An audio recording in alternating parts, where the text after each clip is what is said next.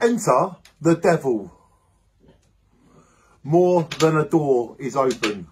Most of life at 11pm is shut.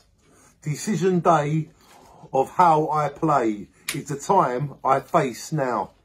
Do I or do I not? This is the question on my mind. Do I want to be kind or enter worlds that shine? The midnight hour approaches and I'm lost in Jack Daniels and a cloud of smoke. Amityville is outside with horror all around. I sit at home with peace and love as my store. I stand on my stone to look into my dreams. This is where real magic begins. I, I've been having some real wild, wacky dreams lately, and I'm trying to catch the pigeon.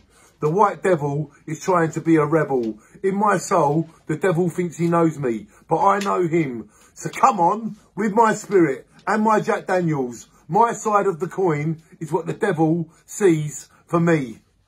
Even though I want the white devil, I can't go to that level.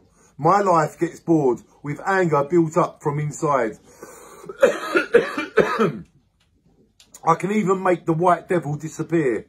Sometimes when celebrate or go party, then enter the devil is at your own risk. Enter the devil will try and take the piss. Enter the devil, which I wrote on the 3rd of May, the year 2006.